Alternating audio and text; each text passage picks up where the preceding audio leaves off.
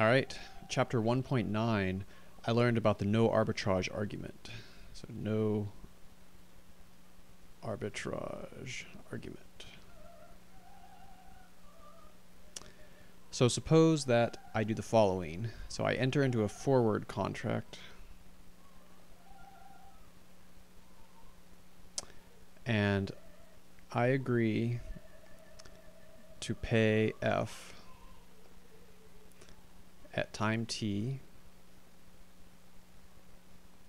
to get asset S. All right, so this is what a forward contract is. I agree in the future, so t is sometime in the future, I agree to pay f to get the asset s. And so today, t is today's time, uh, t is the future, and uh, let's say S of T is the spot price of the asset. Uh, let's say it's a stock for S. So what's what happens? My future profit and loss will be F negative F plus S of T. So I pay F and I get S of T in the future. Right away, nothing happens. All right, now also suppose that I short the asset. All right, so what happens when I short the stock? I immediately get cash, value of S of T for the current value of the, the stock. And I owe the stock later. Then later, I have to give back the asset.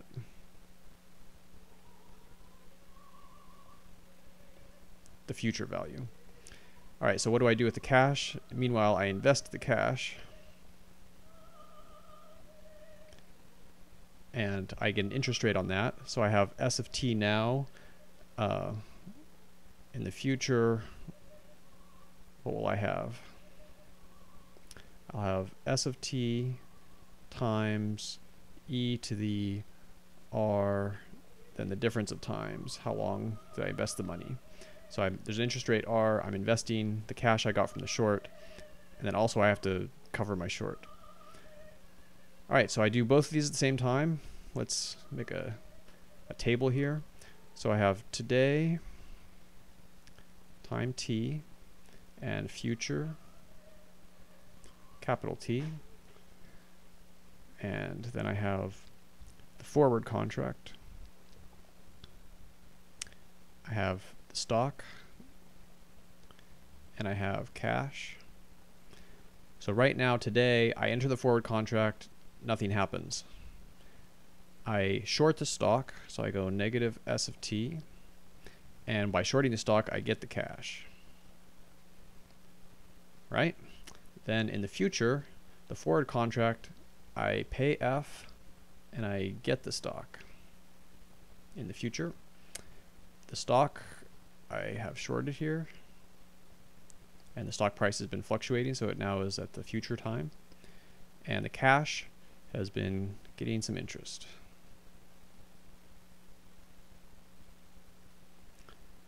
All right, so what can this chart tell us? So if you look at today, it adds up to zero. I started with no money down, and I shorted the stock and invested the money, entered a contract here that didn't require any cash payments. I'm, I'm breaking even here. There's no money to start with. If I add up the future, you can see that the my forward position covered my short position, and I still had to pay F, and I have money in the bank. So I have negative F plus S of t u the rt minus t. The no arbitrage argument basically says that if I don't start out with any money, I don't end up with any money. If I start out with nothing, I end with nothing. And you think about it, you know, what if this wasn't zero? If this wasn't zero, that means I could have started with nothing and generated free money. And the no arbitrage argument says that doesn't happen. You can't do that. So this we can say equals 0. And so f equals s of t e to the r t minus t. So the forward uh, contract price is directly related to the current spot price with a time value of money factor. And this is derived under the no arbitrage argument, which means if this is violated, I can I can trade and make money for free. And so this is cool. So this is a, an argument that lets you compute things that have to be true. And if they're not, you can make free money. So if you know how to make free money, please let me know.